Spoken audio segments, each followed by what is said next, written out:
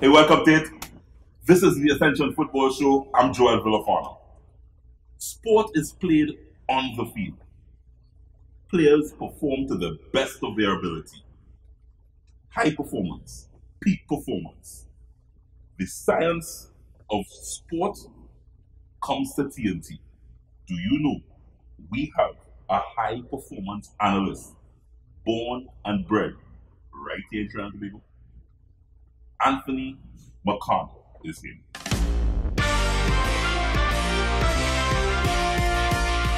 But I think that is something that is important, especially for one, let's say second segment of the fitness to keep your body going. That is all I ever wanted to be, a, a professional footballer, to play football. That is all.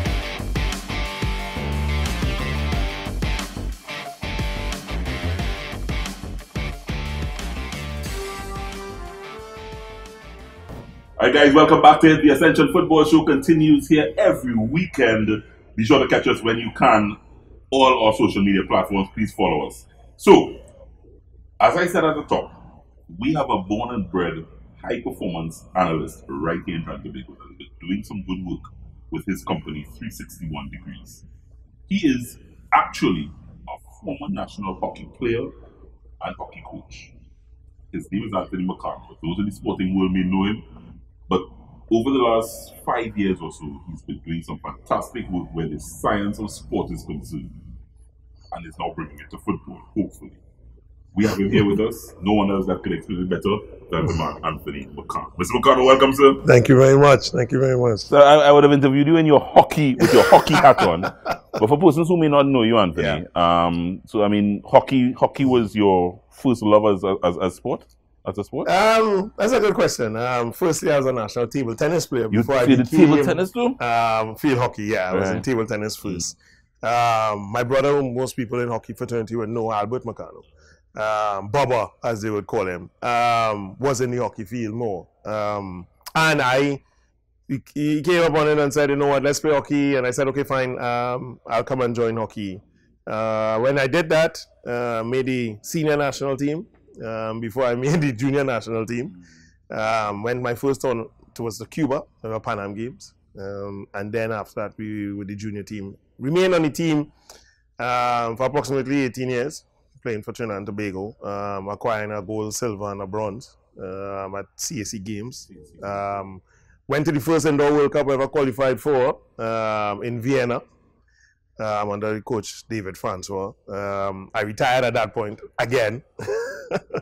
um, and yeah, that would have been my career. Attended Commonwealth Games, um, two Commonwealth Games, Pan Am Games, as I said, CAC Games. Um, and also then went into coaching through Annette Knott, Right. who then was the development um, officer both At at, yeah, at But don't race ahead of me too much because I want to get get the link between talk, talk, talk, and, and, and, and and then deciding just Yeah, going I on to a hockey field and and, and, and, Yeah. developing as a, national player. Yeah, my our neighbor at the point in time in Marva was Jeffrey Wilcox, who was also an, a national hockey player.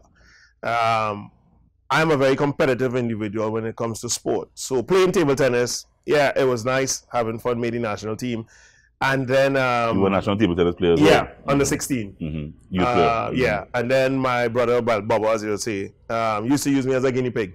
So um, called me out in the in the garage at home and doing his skills and and you know more or less embarrassing me. Yeah, and I, I don't like embarrassment. So I said, okay, fine. Um, I started to train on it because I didn't like it. Um, and at the point in time, I was in school, and again, um, Fergie, as we would call him, Ferguson, um, was the then captain of the school team. Uh, and then we were brought on to play.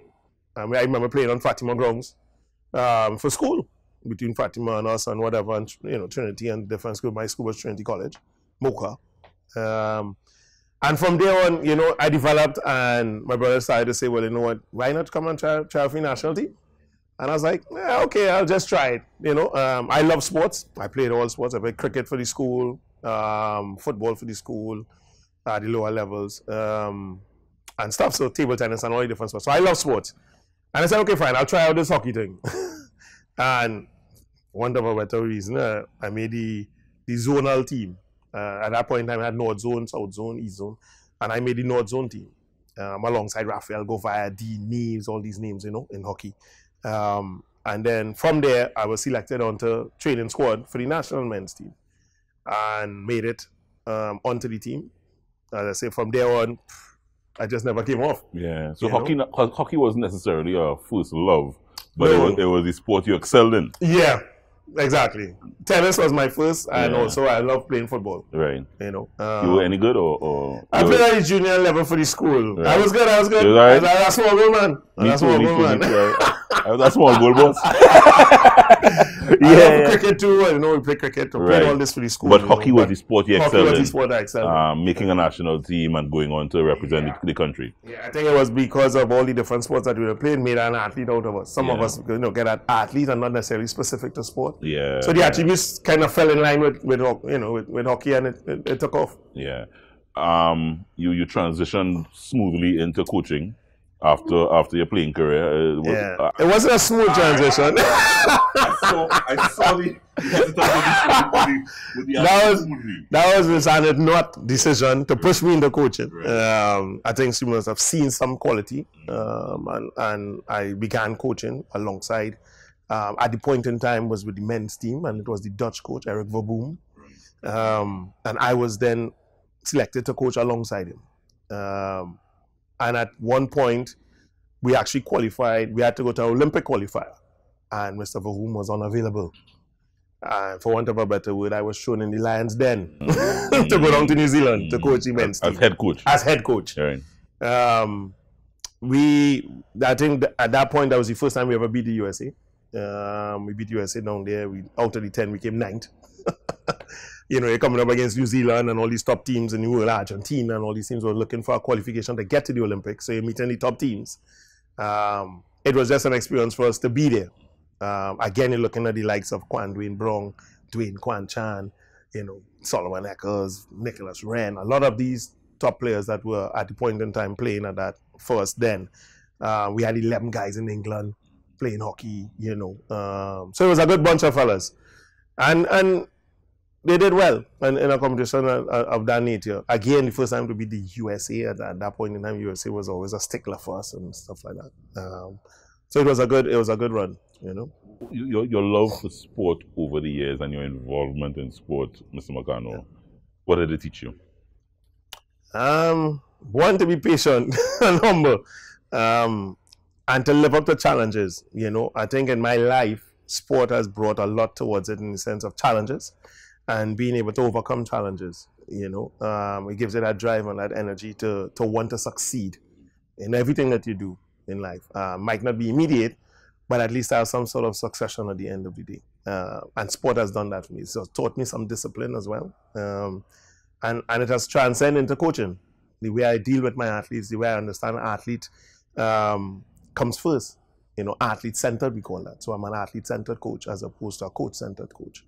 Everything is about the safety and well being of the athlete and, the, and for them to be able to prosper and go forward. Um, I think that's the main thing for me, um, how I deal with it. So that human resource relationship tends to come from me playing the sport and being humble. When when, when you look, as you said, the transition wasn't smooth No, as, you, as you would describe it. But but when you look at the transition from being a player, hockey player, I mean, how long you played the sport professionally? For 18 years. 18 years. Yeah. Um, and, and as I said, it, sometimes it's not always easier. I said, no, when you put on your coaching cap Yeah. to now deal with players, what, what, what that transition was like for you and what did that, what did that teach you? Um, I think um, I had to change Because, my. because not every, not every player. yeah, as a coach, could- correct. could- yeah, and yeah. I think that's where Annette Knott saw something in me Yeah. um, that maybe alluded her to be a coach. You know, um, but what I said it, it it had done to me is that it brought a challenge. And remember, I said as in challenges in sport, you tend to always want to be successful. I have changed over the years as a coach many times. Behavioral um, attitude towards the game, attitude towards officials, you know, attitude towards the players. Um, you know, when you come in as a coach and say, well, you know, it's my way or the highway.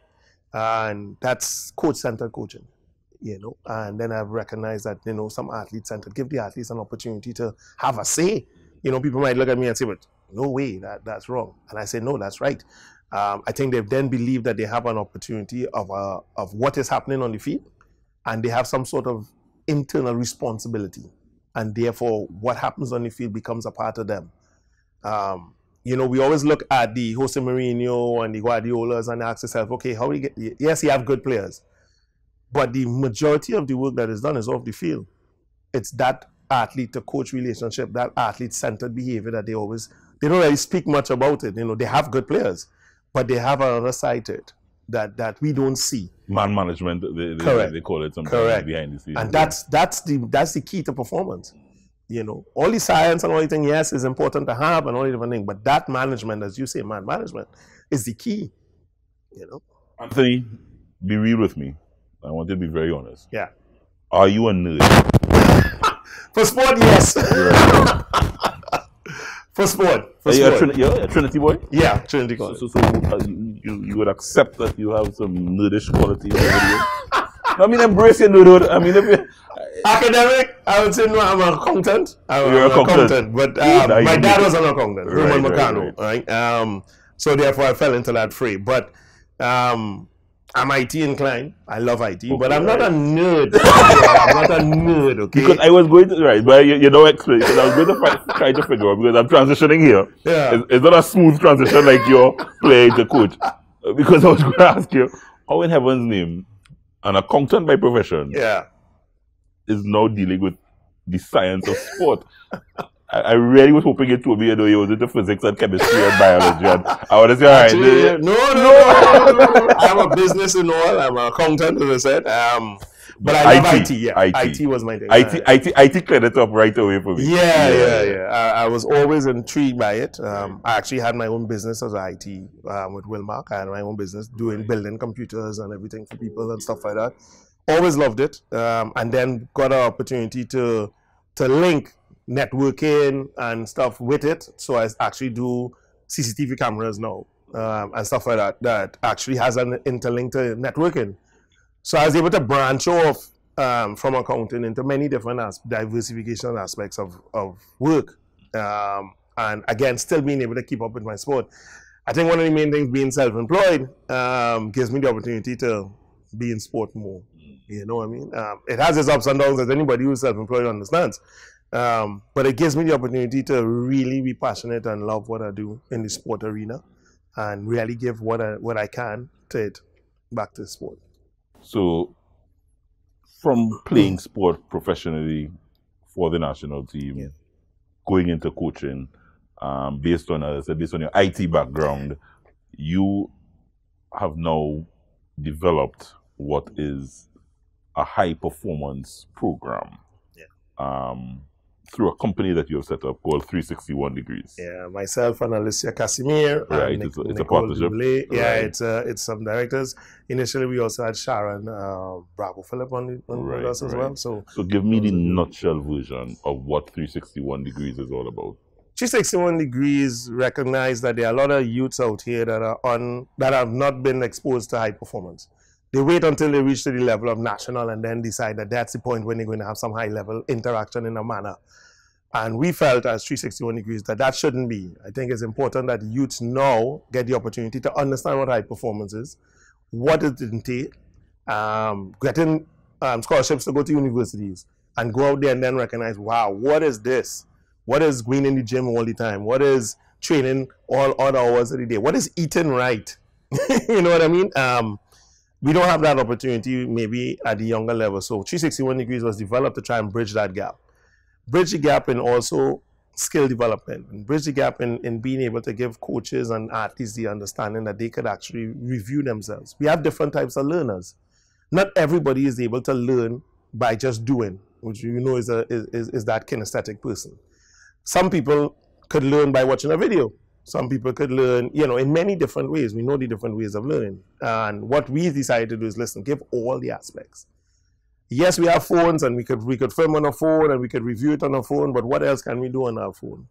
Can I take the phone and look at the angle of a player leg when they're kicking the ball and see if it's at the right position? Can I look at the positioning of, of, of the non-kicking foot to the ball to the to the kicking foot? You know, where's the contact on the ball?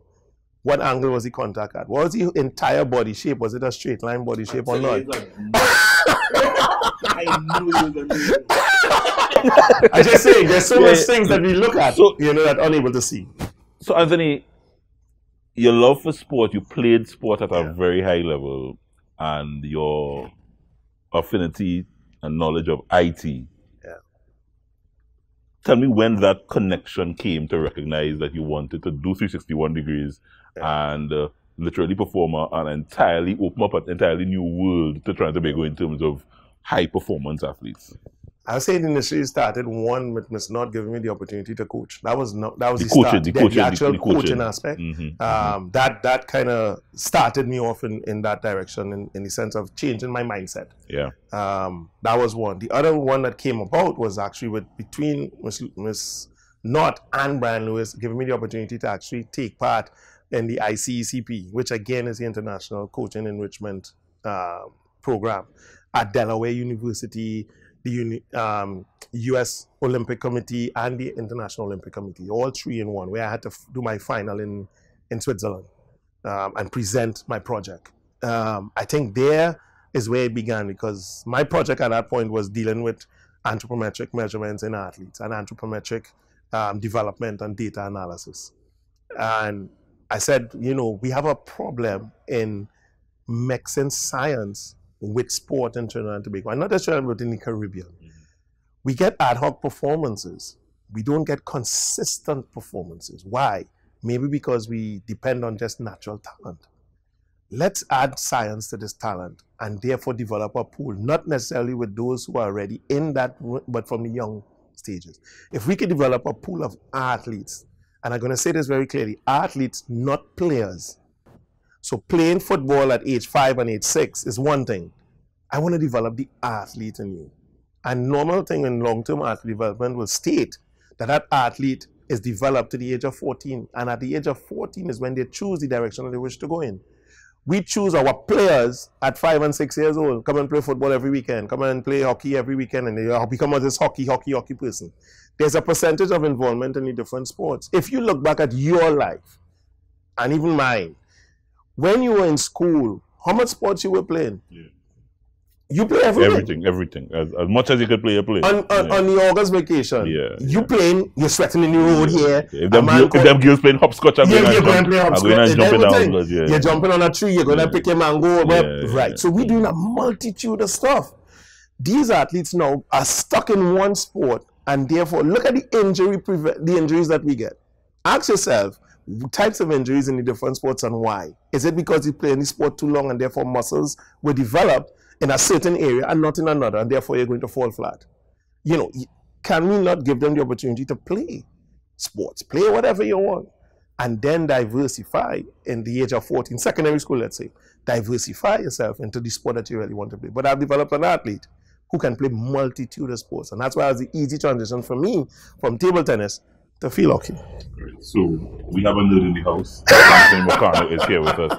He is going to try to break down in the simplest form how important the science of Yeah. sport is and uh, how that contributes to high performance or, or, or creating High performance athletes right here in Trinidad. and Born and bred here in TNT. former national hockey player, former national coach, now a nerd, representing us in this field of the sport of science. We're coming back. This is the Ascension Football Show. We're going to get deep into the sport of science today with Anthony Marcano. The situation we have here is that these characters, and I refer to them as pests, right? What they are doing is destroying our country, but not on my watch. No street, no turf, no block shall belong to these cockroaches, right? It's no longer business as usual. Happy hour is over. If they don't fear God, at least they will fear Terminix. Have you considered how your methods could impact on pests across the country? I find we look after the rights of pests as opposed to the rights of the 1.3 million law-abiding citizens in Trinidad and Tobago. I wonder if Roach Ladden's son come here for a carnival, if, if you'll interview him, eh? But how could you defend one shot, one kill? What, you want me to throw a pillow at him? I didn't say that. No, well, if a roach jumps in front of you now, what will you do? Run. Oh, Jesus, Lord Father. Pests bothering you? Call Terminix at 672-5007 or 672-0042 or visit our website at terminix.co.tt for a free quote and consultation. Join our fight against pests. Get in the game with Essentials. quality for champions. Ascension! Ascension!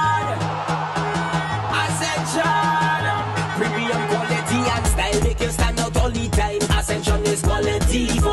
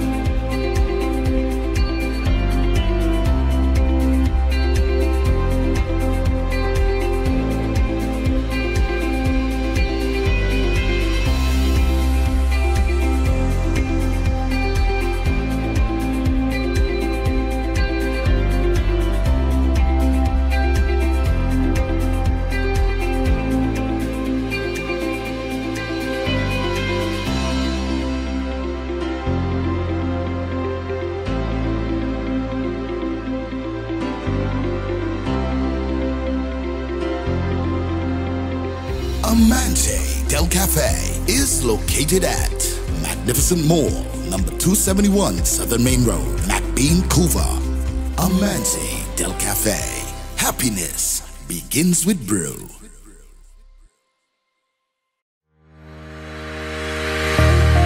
Lasso Maritime Limited, the best in marina services. At our facilities, security checks ensures that all vehicles are secured. Our newly renovated bathrooms are always kept in a clean working order. Need repairs and maintenance? We have you covered. Our qualified workmen will get the job done.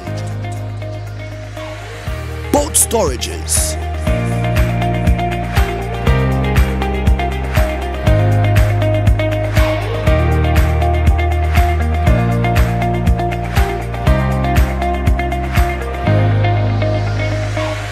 From our marina, you can easily push off for a family sailing trip.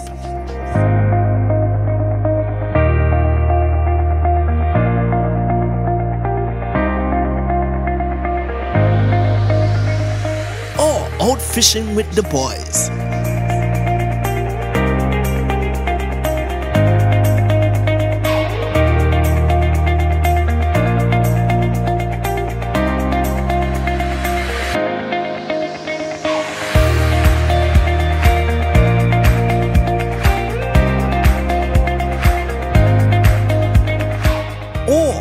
Fun DDI experience with friends.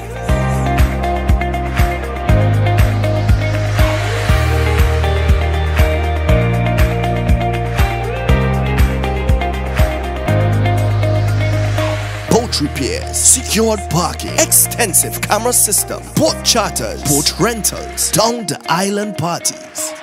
Contact us at 1 868 634 1653. Lasso Frame Maritime Limited. The best in marina services. Life's better on a boat.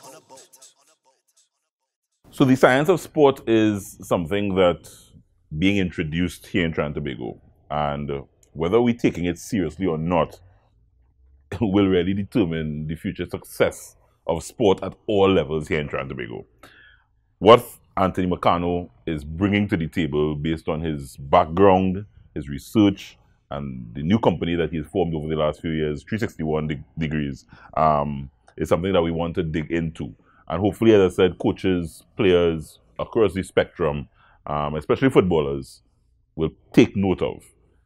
Anthony, let's let, let's start by speaking about high performance athletes. I think you alluded to it just before we took the break. Um, high performance athletes, high performance players, and a player and athlete. I wrote it down because you know you said you said an athlete and a player Yeah. are two entirely different things. So let, let, us speak high performance, high performance, performance, high performance.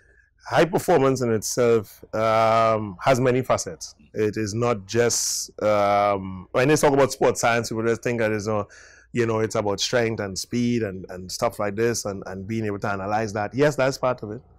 A high performance team, to be honest, encompasses a nutritionist, a psychologist, a biomechanic, um, video analysis, you know, the coach himself. You know, it's a lot of parts that you put together to make this whole um, high performance unit. There are aspects of physical ability which comes down to the natural speed, strength, speed, strength, strength, endurance, all these different aspects of physical abilities, yes? And then you have your biomotor abilities, your ABCs, we call it, yeah, agility, balance, and coordination. But encompassed with that, you still have the technical and tactical side which the coach puts in. That's the development. That's the that encompasses everything. What 361 degrees tends to bring into it is that aspect of video analysis. That Mm-hmm. The- the- aspect the of- analytics part of it. correct. So that you take all those aspects, Yeah. you analyze it, Yeah. so now I will take so with my with, with the GPS we could we could actually track a player on the field, see how much distance they're running, how fast they're running, how much sprints they're making, you know, that kind of that kind of stuff we could pull off of a GPS, which is the global positioning satellite that we put on the athletes. And I mean most people would have seen it on the on the athletes outside. Our athletes here tend not to put it on or no have it. I don't know why. Um, but I think that is something that is important, especially for one, getting to know your athlete better, getting to know if the athlete tired, if they if they're doing if they're overworking, if they're overtraining. This gives me all that information about the athlete. You know, um, we put on heart rate monitors. That gives us now that fitness side of the athlete. How fit are they? Uh, when are they into their their max heart rate? We talk, we look at a lot of players in football that fall down with heart attacks and all these different things happening on the field just like that. You know, we got to be careful and understand how to monitor this during training. You know, it's not just for the game, but during training to be able to create that graph of how this athlete really should be performing, if they're improving or not improving, and what can we do in training to help the athlete perform better. That's the whole aspect of, of this entire thing of high performance. You know, they have their people involved in the different aspects. And I'm saying you're going to have your trainer. That trainer is going to be doing his strength, speed, um, strength work, speed work, all the different aspects. And I'm going to say, okay, in the strength that, that you're training him, or in the speed that you're training him or her, what is the outputs that are happening in the athletes internally? Can you see that? No, but we could get a reading from that. I could say that an athlete is running 20 meter sprint. You want them to sprint at 100%. But when you look at the whole thing, you're looking at their heart rate and they say, you know what, they're not even sprinting flat out. You know, they're not getting the workout that you want them to get. So we go into the science now, the nerdy part of it now. Is the athlete training what we will say anaerobic, lactic? Is the athlete training aerobic? What do you want your training to be? I want my training to be anaerobic lactic. And I'm saying this athlete is not producing anaerobic lactic performance. So you need to do something different to get the uh, result that you want at the end of the day. We look at teams and say they're not fit enough. Fitness is a broad term. When you say we're not fit enough in what manner, are we training the right energy system in our sports? That's something that has to be acknowledged. We talk about, you know, we just do sprints and run and whatever. Yes, I hear you. That's okay. And you say they improve. Have they improved to the level of international or they just improved from a, from a base to a mediocre base? You know, how do we measure that? How do we do the research to know what is the international standards out there and what do we have to go towards? You know, we take somebody who's running a 20 meter sprint and say you should run this in 1.11 seconds. That's the standard. Let's just say international. We know that's impossible. Let's say the, the standard is 3.58 seconds. You're supposed to complete a 20 meters in. You are running at 20 meters, let's just say, in 4.5 seconds. And then we train and we run it now in 4.25 seconds. You say, wow, that's an improvement. Well done. But then we go out there to play and they're running at 3.58. And now you're asking yourself, but we're not fit. Well, you thought it was fit because of the fact that you just drop a time, but you're not dropping any time to match what is necessarily on the outside. So what we try to do is to create the environment. 361 tries to create an environment which tells us we have researched on this on the sport, we have researched on what the standards are and where our athletes need to be. And therefore now design programs. This is where the trainer and everyone design a program to get them to this. This is what you need to do. You know, and then we look at it and, and work on many things. In high performance, the first thing you would hear anybody say, we need to have a periodization plan. How much of us do that? How much of us actually create a periodization plan first? You, you you've done you've done that in terms of sports across the board, in terms of understanding different sports. And let's just let, let's Yeah. talk football. You, you've done that for football. You know what uh, football footballers' peak performance is, what he needs, yeah. What it should be. yeah, what it should be. Yeah, we have collated some data as to how far a midfielder should run, a defender should run, an attacker should run. Now, system and the way you play a game could change, and therefore it would it could switch around as to what you want these athletes to do on the pitch. But generally, we could say, yeah, I would tell you, uh, uh, maybe a midfielder or defender shouldn't be running more than 8,000 kilometers in a game. If I see a defender running 11 and 12, he's overworking. He's going to get injured soon. And you, you, you, you tell you tell the coach. I trainer tell the coach that. Yeah. I will say, listen, this this athlete has been overworked. Um, and therefore, you got to take your time with him or maybe talk to him a little bit and figure out how, why is he overworking? Let's look back at the video. Let's see why he's overworking. It might not be his fault. It might be the fault of someone else who is not picking up their slack. yeah. And we could then identify that. Right, because actually that was well, and and, we'll get down. It. I want you to explain it in detail. Yeah. For, on your system, but but football is a team sport. I think you were Yeah. now alluding to that. So in other words, the the the, the effort and distance exerted by uh, uh, uh, uh, overlapping right back or overlapping Yeah. left back will be very different from a centre back. Correct. You know, yeah, because he has up and down. So, so, so, so, are you able to, to, to pinpoint players and positions? What is required of the striker? What is required? You, you, you're able to do that we that. can do that as well. Um, and again, comes back to the video and the strategy that the coaches have. And therefore, we could then determine what is the necessary um, energy system that is most prominent and needs to be uh, exerted. So, for example, all of us need aerobic base for, for, for sport. We need an aerobic base. How much of that aerobic base is needed? How much of anaerobic is needed? And how much of anaerobic alactic is needed? You know, and that's where the sports change in, in relation. And therefore, we talk about in, in football, you need endurance. Okay, I hear you. And that endurance is related to aerobic capacity. And I would say, mm, maybe not. Yes, you need endurance, and yes, you need that aerobic capacity, but that's not your main energy system that you need. If you look at football, at what point in time in football are you continuously running up and down the field?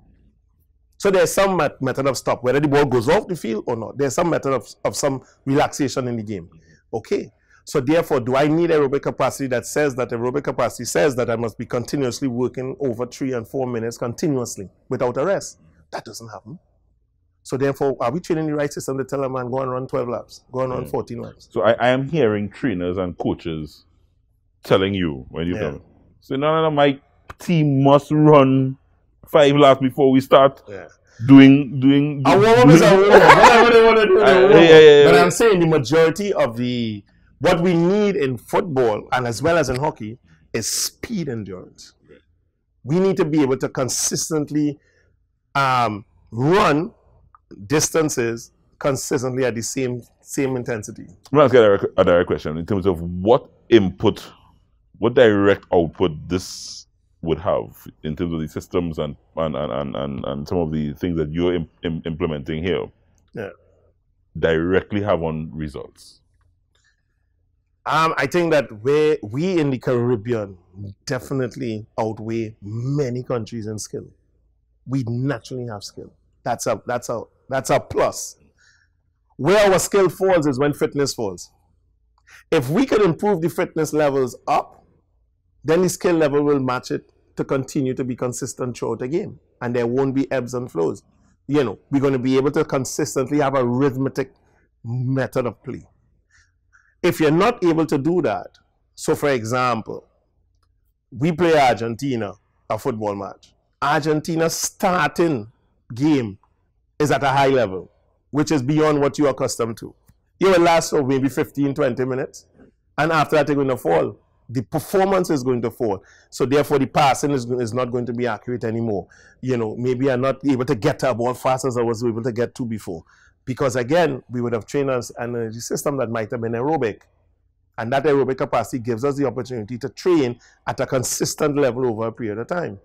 We want to be able to burst, come back down, burst, and that burst must always be consistent to the first burst. If I do 10 bursts, all 10 must try to be the same, and not the 10th one falling way below the first one. That's the difference in, in how these athletes out there train. Uh, Anthony, break down for me what exactly you do. Is it that on game day you analyze Yeah. the team, the players individually, and see what they do on the field and assess that? Is, is on do you do you do your work on game day or in training? Tell me tell me how, how the work is actually done in terms of Um, we do the work throughout training. Um, do training, we, we are there working with the, with the group. On game day, we are there working in group. On the opponents, we have to do work on the group. Yeah, yeah. we're not only on the team, we have to also do the opponents and actually come back to the coach with some information. So we also do that. Um, while in training, we will work with the technical staff at that point as a support unit for information and stuff as to how the athletes may be developing or improving as they go forward. Um, and again, to actually give the coach the opportunity, even in the video sessions, to have shorter meetings. You don't have to go through a clip and look back and rewind a, a, a game and say, look at this. And that's our job at that point. We're now going to come and give you a five minute meeting on point with exactly what you want to speak about, what you want to look at. If there's a specific instance that you want to recur or, or look over, we can do that. If give you me want, examples. Give me some examples. Okay, so let's just say in training there's a set play for a free kick Mm-hmm. that you want done. Um, we will film that because we're already in training. And now what we could do is cut that clip to say, listen, this was a good one. And what we do is then pass it on to the players on the phone. And they can actually look at it over and over and say, okay, yeah, this is set play we're talking about. Whether they name it set play one, set play two, we could actually create a video library of all the set plays and actually give to the players. If you remember American football, what do they get? This big handbook of all the plays. Okay, now we're going to give it in video form with you actually being part of it. This is what we did. You know, so when they go out and you feel it becomes part of them because they're seeing it. You know, you went, I went in a Tottenham Hotspur's um, club at a point in time. And on game day, what do they do inside the club? Every TV shows football. Every TV. They watch nothing else but football on game day.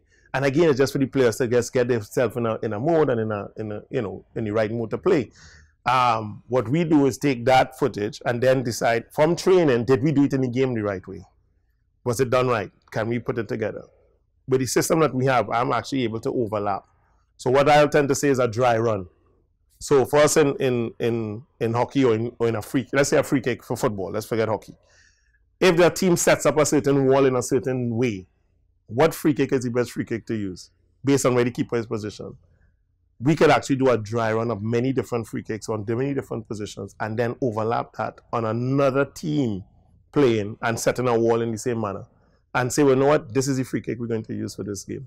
Because this is the, this is how they set up, this is where the keeper normally is, and this is the one that's most successful. that that much detail. That much detail. We could do that. Mm-hmm. And that comes again from doing training, putting things in place, and then being able to give the coach the information for when they're ready to play. So, so as an analyst, uh, as a high performance analyst, you are literally there with the team in all training sessions. Yeah. Building up to let's just say match day. Yeah. Um, and, and, and providing information to, to coach, trainer. Yeah. On the day, um, I could actually tell, I could tell the coach or the trainer that guy's tired. He's going to get tired. He needs some recovery. How fast is his recovery? So in training, I would know if a guy is training 100% max heart rate. How long does it take him to recover? 30 seconds? Okay, he needs 30 seconds and he back up again and ready to run. So maybe at that point in time, I could say, okay, he made that sprint. Okay, fine. Look at his reading. By 30 seconds, he's back. He's ready to go again. He can make another sprint the same way, no problem.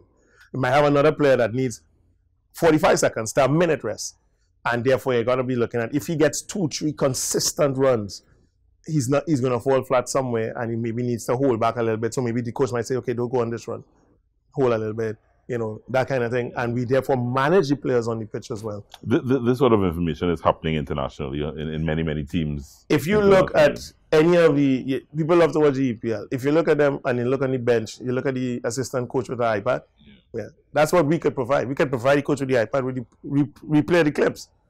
He could actually look back at what's happening now and look and see where the problem was and so, be able to fix so that ability, as I said, now coming back to your IT, your, Yeah. your IT knowledge, um, Right.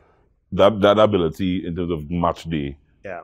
game playing, you monitoring what each player on the field. Correct. Each on, player on a, on, a, on a software on a program. on game day, and I'm actually coding each player as they touch the ball. Every time they touch the ball, if we have a free kick, if we have a corner, if a corner comes in, if the goal is scored, how the goal was scored, what was the lead up to the goal? Can we repeat that performance that same way? You know, we look at something, and I always relate something in hockey towards football because again, it's 11 players on each, right? So we have something in hockey called accelerators, and accelerators are things that happen like 1v1, 2v1, eliminating passing, overlapping players. Okay, let's just say, what was the mechanism to get the goal? Did we do a eliminating pass first, then did a 1v1, then had the overlapping player who scored the goal? If that's the three accelerators, then that's what we need to focus on to be able to score again. We need to make the eliminating pass, carry on a 1v1. Who's the person who's going to do that first, and who are the people on the, on the pitch who can do it in what position? And then who's the overlapping player who's going to finish the goal first?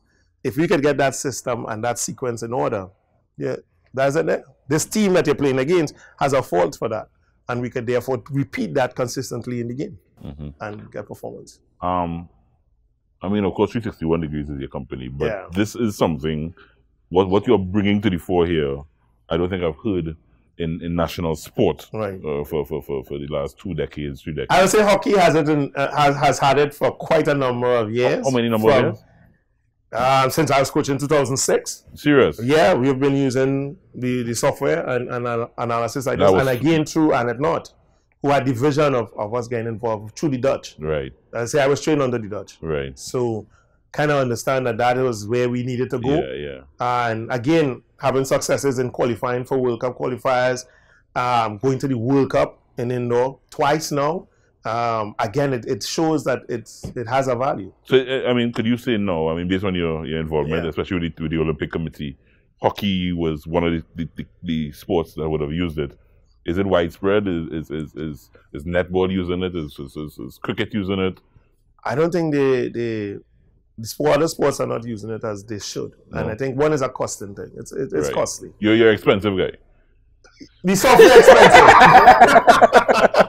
the software Yeah, expensive. I yeah. understand the, the situation, and even in the pandemic, it's even even worse. Yes, Yeah, yeah, yeah. but I understand the situation. But again, um, you know, they say good thing not free and free Yeah, thing yeah, yeah, yeah. Um, at the end of the day, yes, there's a cost towards it. Uh, we try to be very reasonable um, in what we do. Uh, as you you would have heard us say, the amount of work that we do on the outside, as compared to the work we actually do on the field, is so vast.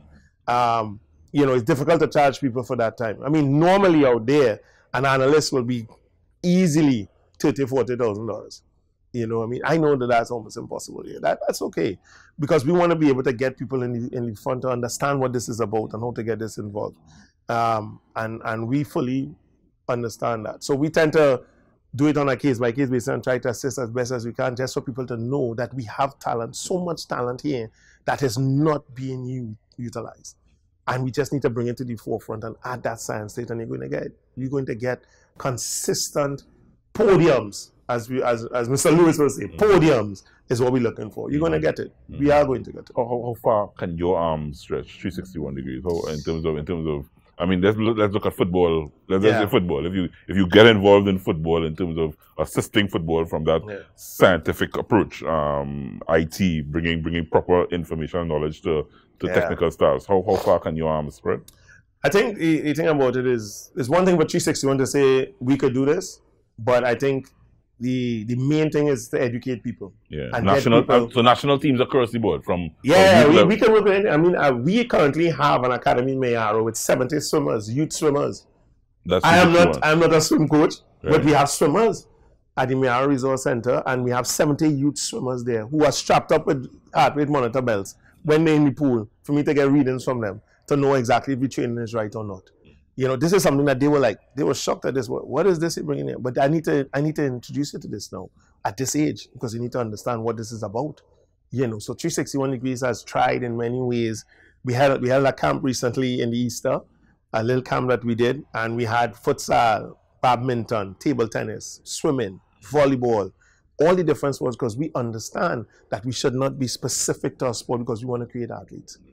And to create athletes, they must be exposed to many sports at the ages that they are until 14. Is the Minister, Ministry of National of Sport, Ministry of Sport, are they um aware of the program?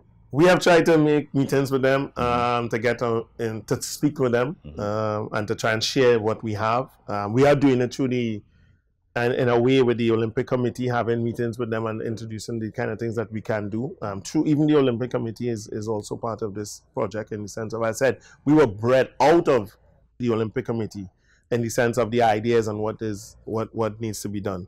And working alongside the Olympians currently now, Aaron Prince, we were working with Aaron Prince from before with the Olympic Committee through the same mechanism of, of science, you know. Um, so where it comes to that and, and where our arms could stretch, you know, we try to bring people on board to, to teach. And therefore, if we have one in all the different sports, then I think that's a plus for Trinidad and Tobago sport and all. You know, it's not just about 361 here to make money and just trying to, it's not about that. It's about educating people that hopefully our sporting fraternity will be able to compete with those on the outside world at a level playing field.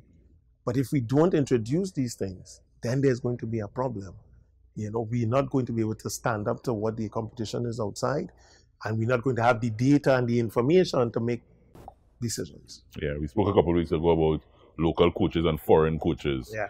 So we don't have to go far No, I- abroad to, to get a high performance analyst. Um, he has an entire team here working. Anthony, I want to thank you very much um, for the information and looking forward to the inputs that you're going to make, in the, especially in the football fraternity right now. I think it is very much needed. Thank you, thank you very much. Sure, no Um, problem, and we want to invite you back to probably give us a full demonstration. Sure. Um, you It's know, use, use your. IT Nerd. nerd, nerd, but I mean, your nerd, your nerd, your nerd ability, and actually show us how this actually works. We're gonna get a full demonstration Sure. from you. Um, that's Anthony Marcano, guys, former national hockey player, national hockey coach, and now putting his wide array of, of, of knowledge over the years into putting sport science, high performance analytics, analytics to, to, to the forefront. So when we get into video analysis, we tend to look at the, you know, the program, Sports Code Game Breaker.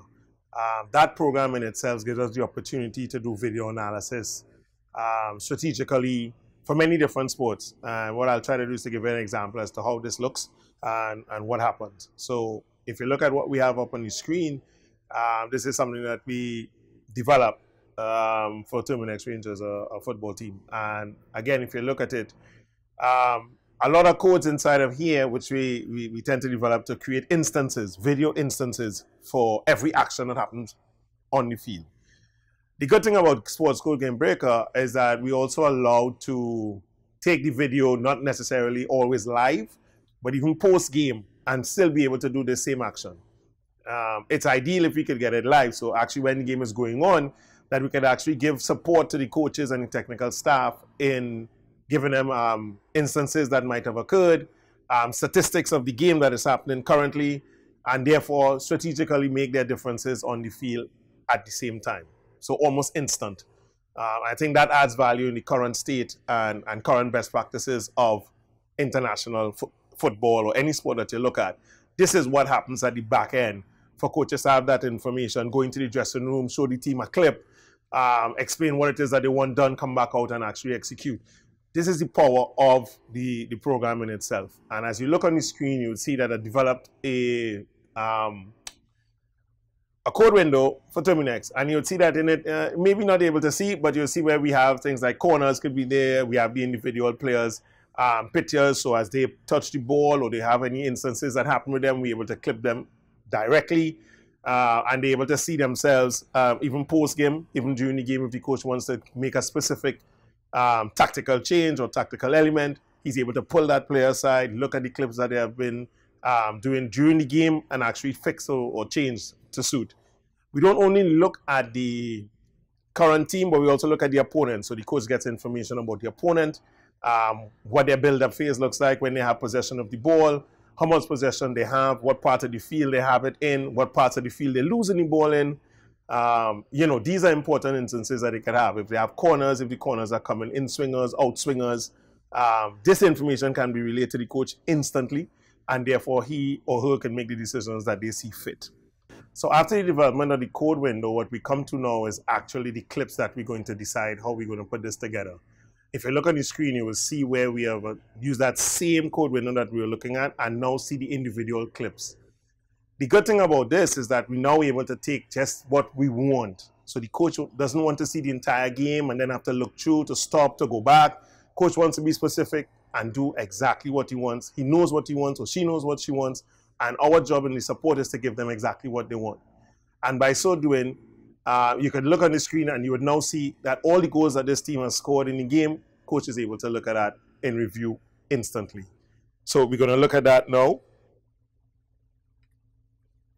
These are all the goals that were scored in the game that the coach can now look back and review and, and look and see how it's been done. What was the build up towards it? What was the position of players on the field? Were they in the right spot? You have your set place for your corners. Did it go well? Yes. And therefore, they could decide now if they need to fix, change, anything else that needs to be done. The good thing about it is that we could also slow this down. And I could take this back as slow as I want. I could go back as fast as I want. I could look and see the angle of this guy actually strike the ball? Was it good from the coach perspective? You know, was the ball height right? Did he hit it at the right spot? These are things that can be analyzed instantly. So we can look and see exactly at the point in time that he made contact with that ball. Is this good? Could he have been better? This comes from the experience of the coach now being able to analyze this and say, yes, this is great. One timer and being able to, to score. So these are the good things about the program that we able to slow down any instance possible and actually let the coach analyze it even further if need be, or the player themselves.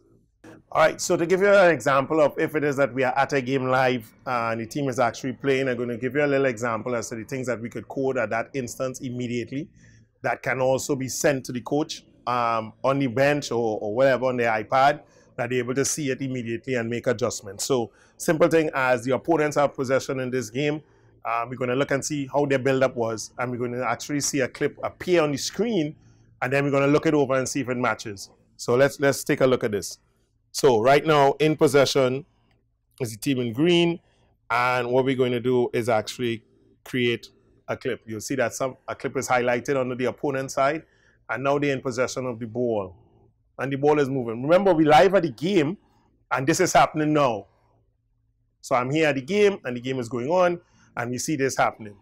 Now the ball has gone forward. We were looking at build-up. As you would see now on the screen, there's a clip that was developed on build-up only. If at any point the coach wants to actually go back and look and see what happened in that build-up, we could easily say, you know what, let's look at this now on the game. And they're going to see exactly what just happened. And the coach is able to review and now set maybe his attacking team different and how they press, how they play against it, you know, what he wants them to do. And he's doing that instantly at the same time the game is actually going on. Remember, we stopped after the build-up, the ball is gone, so that clip is over. One of the things that we also, um, Game Breaker is not necessarily for football only, for multitude of sports. And I'm just going to give an example of how we did with hockey as well. Um, and you're going to see a clip with just 3D skills. So again, just being specific to what you want out of the entire game to be seen.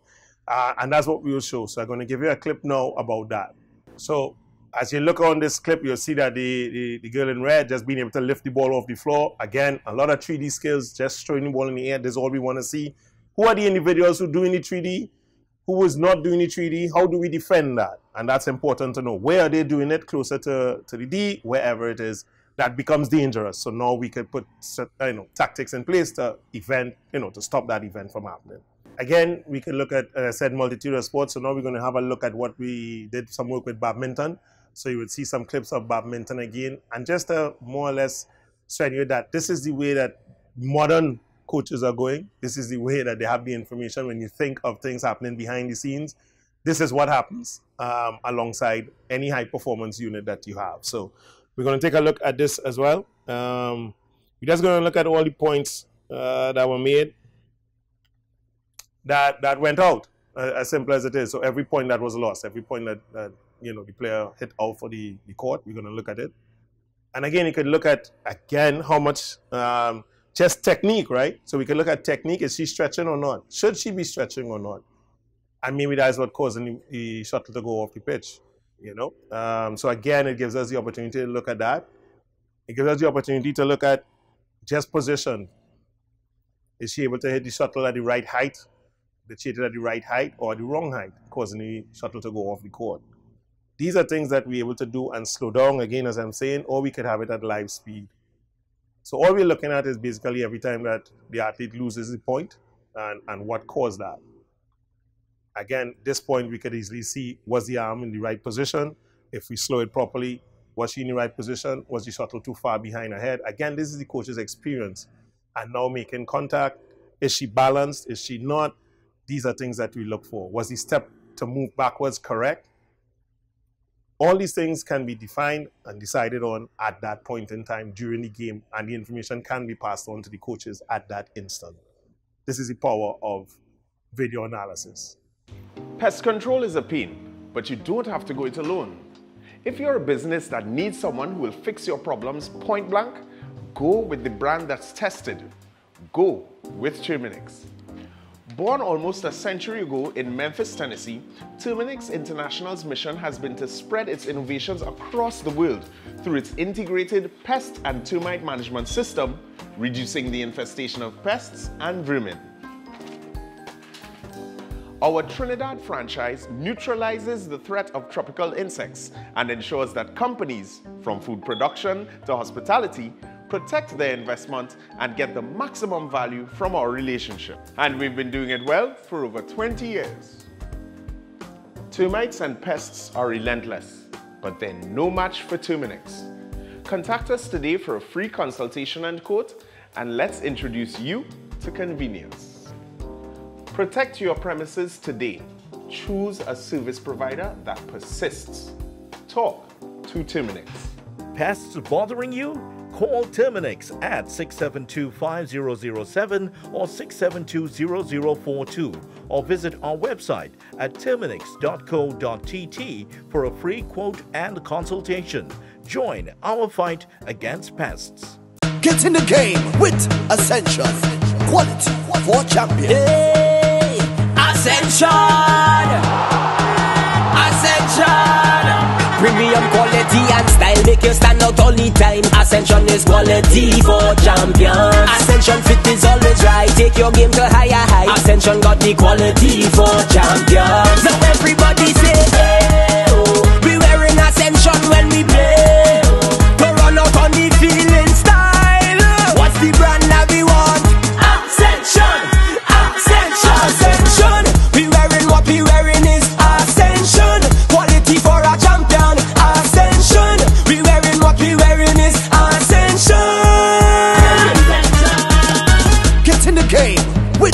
Ascension. Quality for champions. Lasso Frame Maritime Limited, the best in marina services. At our facilities, security checks ensures that all vehicles are secured. Our newly renovated bathrooms are always kept in a clean working order. Need repairs and maintenance? We have you covered. Our qualified workmen will get the job done. Boat storages.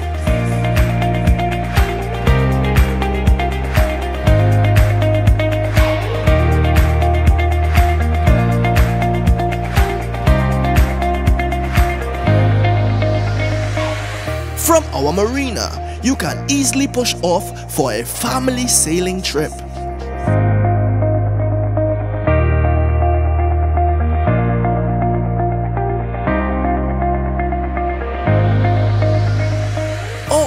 Fishing with the boys.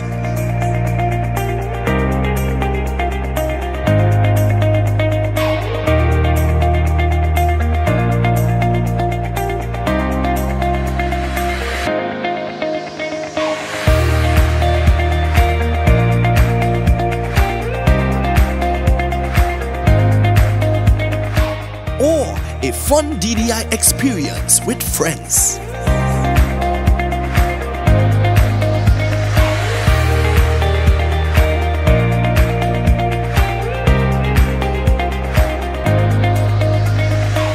Boat repairs, secured parking, extensive camera system, boat charters, boat rentals, down the island parties. Contact us at 1 634 1653. Lasso Maritime Limited. The best in marina services. Life's better on a boat.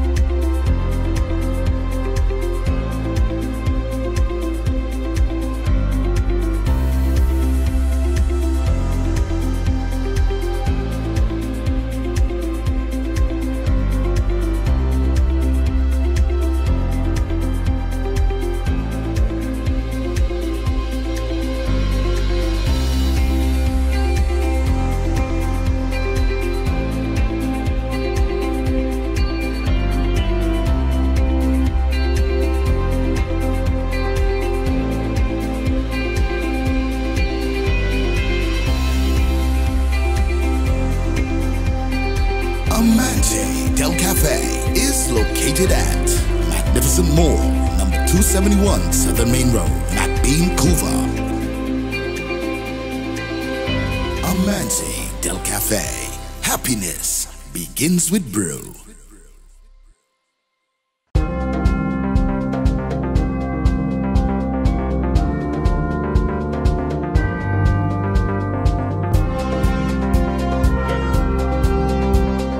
Sundays, that was my favorite childhood memory. On Sundays with Mr. Paul Clark coming out, the whole community, like almost every child in the community used to come out and play football on that day.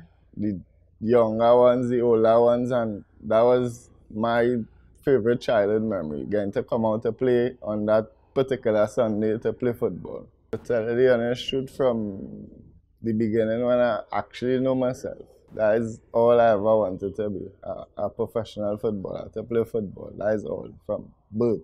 My favorite footballers is Ronaldo from Brazil, Ronaldinho and Zidane. To me, them is the three greatest. That, that, is, that is the best I see to me.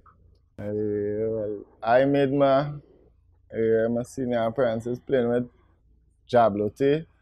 I was called up to play a friendly against Panama under uh, Coach Stephen Hart.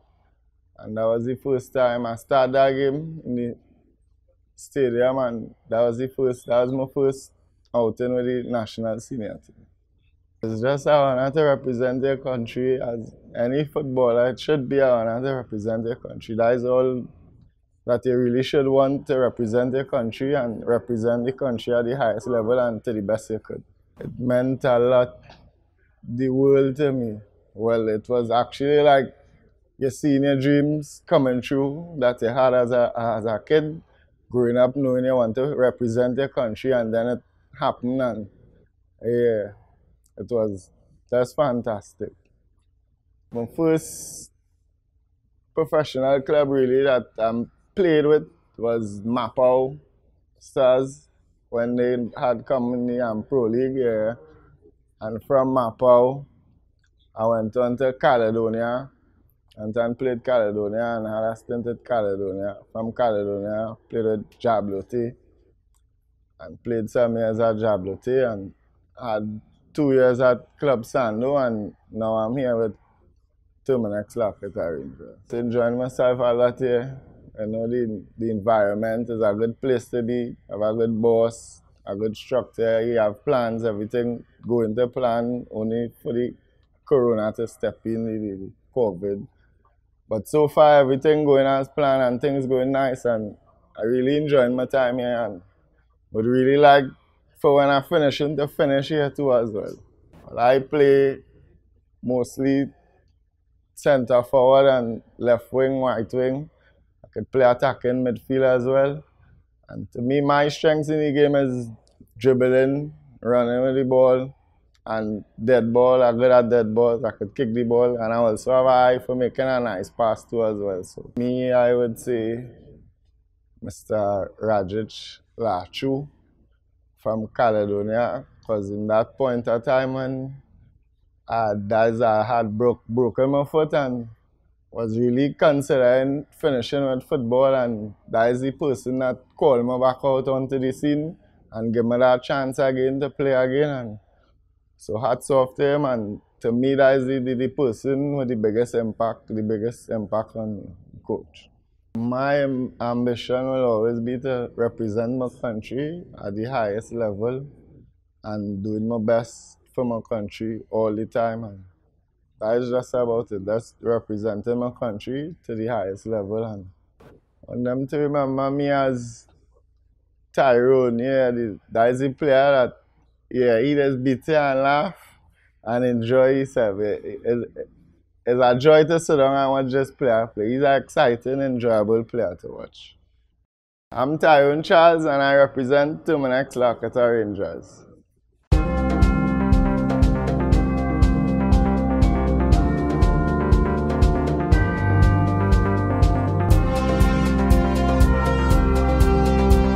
All right, guys, just wrapping up with our coach's corner as usual. Here is Ansil Elcock. Thanks, Joel. This is second segment of the fitness to keep your body going. Some people calls it suicide, some people calls it shuttle, but it's all a part of fitness, it's all a part of leg, leg work, all a part of get here from point A to point B on top of your game. And basically, what you want to do is called suicide. So from point A to point B, time you reach to the fifth cone, you want to make sure you're between 90 to 100 degrees with your pace, with your speed. Alright? So you start off nice and slow, you're going from here, back here, back here. Right? You can turn, you can run, or however you're comfortable at, but every time you're going, make sure you increase your, your speed. Right? You can come here, you can turn back, right? Because remember you're racing going with yourself and with your mind, with your body to get yourself fit. Right? And go. Good. Good. Push yourself. Push yourself. Good. Push yourself. Good. Good. Push yourself. Good. One more. One more. One more. Good. And good. Yeah, well done. Well done. Well done. Good form. Yeah. Breathe. Breathe. Walk. You have to walk on. You can't be tense. Walk on air. Just like in a game when you get tired, you have to catch your breath because they come. They keep coming at you. So you have to control your breathing. Right? Lift your head. Breathe through your nose. Then go through your mouth. Right? Take some big one. Hold it. Let it go. Right? Yeah. 10, 9, 8, 7, 6, 5, 4, 3, 2, 1, go! Good, good. All the way back to the cones. All the way back to the cones. Good, good. Well done, good. Well done. Good. Watch your step. Good. All the way back. Good. Good. Good. Well done. What's your ball? Nine, eight, seven, six, five, four, three, two, one, and go. Side on. Good. Good. Good from go low. Go low. Good. Look up. Look up. Look at me when you're doing it. Good. Right. Good. Take your time. Watch. Take your time to the end. Yeah. Good. Good. Good. Good. Good. And all the way. All the way. Good. That was the second part. All about fitness. Back to you, Joel. Hope you enjoyed the show as much as I did. Um, learned a lot, and I think sports science and high performance sport uh, here in this country, we need to take another look at it. want to thank Anthony Marcano for passing through the show today and dropping his knowledge. Wishing him all the best as he makes a, a serious contribution to sport in the future here in Trinidad Tobago. That's the Ascension Football Show for another week. I'm Joel Villafana. We'll see you back soon, right here on the Ascension Football Show.